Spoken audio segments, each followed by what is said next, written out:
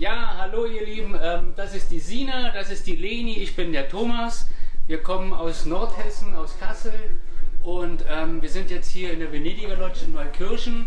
Ja, wie sind wir hierher gekommen? Ganz einfach, dazu sagt meine Frau was dazu, denn sie hat uns hierher gebracht.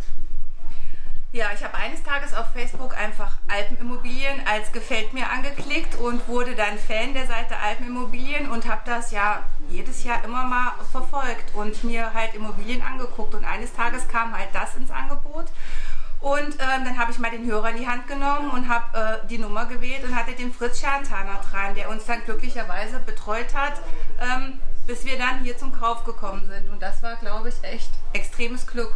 Ne, Leni? Ja. Wie findest du das hier?